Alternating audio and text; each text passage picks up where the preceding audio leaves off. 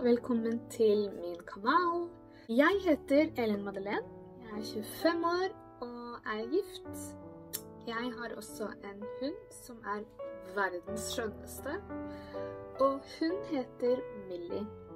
Jeg har laget denne kanalen fordi jeg har lyst til å ja, vise litt om hvordan det er å leve med en kronisk nyresykdom hvordan det er å gå i dialyse, og hvordan det er å vente på et nytt organ.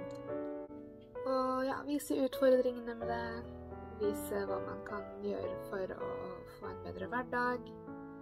Ja, litt sånne ting. Det kan også hende at uh, jeg poster uh, andre typer videoer. Men det kommer egentlig litt an på hvor varm i trøya jeg blir, og hvor komfortabel jeg er med YouTube.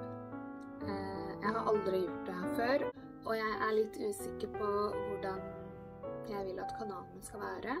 Men jeg vet at det hovedsakelig skal være fokus på nyresykdom, da. Og det som det innebærer. Det var vel det.